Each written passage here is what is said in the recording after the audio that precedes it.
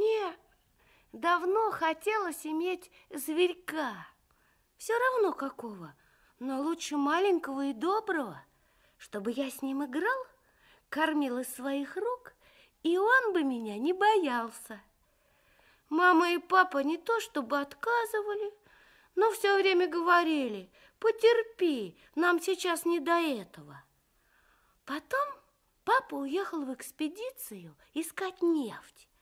А мама в ответ на мою просьбу пойти в зоомагазин даже рассердилась. Только живого уголка мне в доме не хватает. Однажды пришло письмо от папы. Он писал, что в пустыне, где он работает, появилось очень много черепах, и он поймал для меня одну, маленькую. Она не больше Андрюшкиной ладони, писал папа. У нее еще панцирь не очень твердый. Я посадил ее в ящик из-под сгущенки и кормлю кусочками огурца и хлеба. Симпатичная такая черепашка. Думаю, Андрюшка будет доволен. Ха, еще бы недоволен. Я был просто в восторге. Всем во дворе рассказал, какой у меня папа поймал черепашку и как он ее кормит огурцом и хлебом. Я прозвал ее Чапа и стал думать об устройстве уголка для нее. Песок у нас есть во дворе, в песочнице, а вот ящик... «Не приставай», — сказала мама. «Какой тебе ящик?» «Ну, хоть из-под сгущенки». «Нет у меня ящика. Могу тебе дать коробку из-под ботинок?» «Ну, хоть коробку». Я с сомнением взял коробку, не очень большая. Потом взглянул на свою руку. Ведь папа писал, что черепаха не больше моей ладони. Положил руку в коробку. Нет, ничего, вполне просторно. Спустился во двор, насыпал в коробку песку и воткнул зеленых веточек, чтобы красиво было. Ребята мне помогали. Анюта предложила водоемчик сделать. Закопать в песок маленькую мисочку по самый край и налить воды. Получится, как будто озеро. Толя предложил горшочек с цветком закопать в песок. Это для Чапы будет садик. Ветки-то скоро завянут, а цветок можно поливать. Он будет зеленеть хоть всю зиму. Вот только коробка мала, все-таки ящик нужен. Но вот как его достать, этот ящик? Тут Галя догадалась. У нее мама работает в овощном ларьке недалеко. Галя сказала, что возле этого ларька навалом ящиков. Мы отправились к ларьку. Галина мама даже обрадовалась. Ящик, да хоть десяток. Мы выбрали ящик с красивой наклейкой. Аист, а в клюве у него апельсин.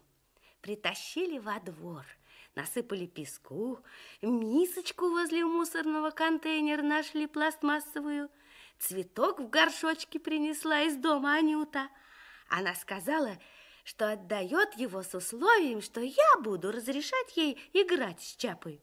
Пожалуйста, я бы и так разрешил. Замечательное получилось жилье. Мама открыла нам дверь и ахнула. Вы бы еще сундук принесли. Я же специально дала коробку. Мама, в коробке ей будет тесно, ей же тоже хочется побегать. «Посмотрите, тетя Валя, как мы красиво все сделали!» Сказала Галя. Мама взглянула повнимательнее. «Надо же, как придумали!» Она вздохнула и разрешила. В последнем письме папа написал «Черепашка что-то загрустила. Даже свой любимый огурец и тот не ест. Все сидит у стенки ящика, вытянув вверх шейку. Я подумал, а ведь и правда загрустишь, сидя невылазно в ящике. Если бы, например, меня в ящик посадили, пусть даже самый удобный, ха, я бы еще как загрустил. Нет, не стану я держать Чапу в ящике. Пусть ползает по всей квартире, а в ящик я ее буду спать укладывать. Однажды мама сказала – угадай, что завтра случится хорошее. Черепашка приедет, догадался я. Бессовестный ты все-таки, Андрюшка. Папа, папа завтра приезжает. Ну да, папа, согласился я, и привезет черепашку. Утром мама сказала, творог и молоко на кухне, и я побежала в парикмахерскую.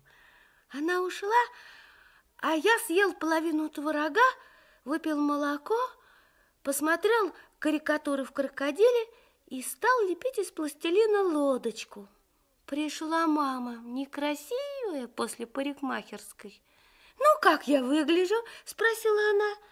«Хорошо», – ответила я, – «только причешись и ленточку завяжи, как раньше». «Ха, ничего ты не понимаешь», – возразила мама. «Это специально так, укладка называется» и она стала печь пирожки с капустой. Наконец раздался долгожданный звонок, папин звонок.